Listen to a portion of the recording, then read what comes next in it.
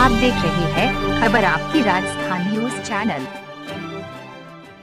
झालावाड़ ज़िले के सुनेल में विद्या भारती द्वारा संचालित आदर्श विद्या मंदिर के शिक्षकों द्वारा स्वराज पचहत्तर के पत्रक वितरण कार्यक्रम किया। इसमें कस्बे के बस स्टैंड, गुलाब तलाई, रंजा चौक, राम मंदिर चौक, छतरी चौक लोहार दरवाज़ा और पिड़ावा मार्ग आदि नगरवासियों को स्वतंत्रता के पचहत्तरवें वर्ष के पत्रक बांटे। इसमें स्वतंत्रता में अनेक गुमनाम शहीद के नाम व जानकारी इस पत्रक में है। देश की आज़ादी में ऐसे अनेक नाम है जो आज भी अदृश्य है। ऐसे नामों की जानकारी समाज व राष्ट्र को है। इस निमित्त राष्ट्रीय स्वयं सेवक संघ ये पत्रक तैयार कर और योजना पूर्वक संपूर्ण देश, समाज में सभी संगठन के कार्यकर्ता इस पत्रक को घर घर जाकर दे रहे हैं। इसमें प्रधानाचार्य भारत कुमार शर्मा मुकेश कुमार शर्मा, हरीश नाथ, जोरावर सिंह, टीकमचंद नागर, धन्नालाल नागर, प्रभुलाल सेन, रोहित कुमार सेन, कमलेश राठौर और गोविंद नागर आदि शामिल थे। खबर आपकी राजस्थान से सौरभ जैन की रिपोर्ट।